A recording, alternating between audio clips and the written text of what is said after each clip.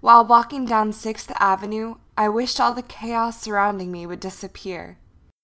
I wanted to replace it all with the clip clop of horseshoes on a cobblestone street. Women in skirt suits and picture hats. Men wearing bowlers and waistcoats. Maybe I'd pass Olive on her way to one of the department stores. My plan was to see a fashion show at the Siegel Cooper department store. Back in the 80s, this stretch along 6th Avenue was known as the Ladies' Mile because of the profusion of grand emporiums that served the wealthy. But fine ladies no longer pulled up in Victorias driven by white breeched grooms or promenaded down the avenue to be seen in their elegant gowns.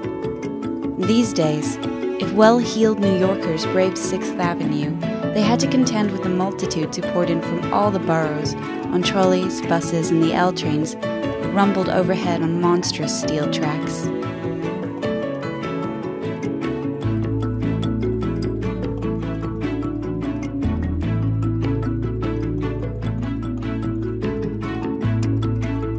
I came to the beautiful Beaux Arts building that had once been the Siegel Cooper department store.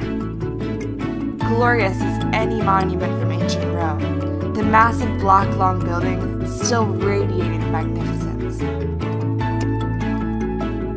Something up on the arched entranceway caught my eye a crest, like a coat of arms, engraved with the letters S and C. Siegel Cooper. I'd never noticed before, even though I'd walked by a zillion times. It felt like a message to me personally. Who else in recent history had noticed those initials up there? Who would care? The past, right here in our midst, and we were so utterly oblivious, going about our days worshipping the present, as if the generation of now was the only one that mattered.